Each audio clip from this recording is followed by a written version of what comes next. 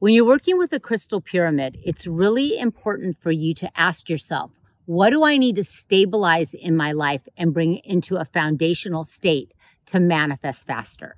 Its square base helps to bring foundation and stability to what you want to manifest, bringing it to a pinnacle and to a peak in its full fruition.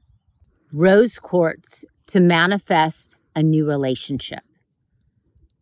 Sunstone to help you feel very sexy and alive and to see what is passionate in your life. Sodalite, the stone of communication, thinking before you speak. Chalcopyrite, the money stone and wealth bringer. Fuchsite, connecting you to Mother Nature.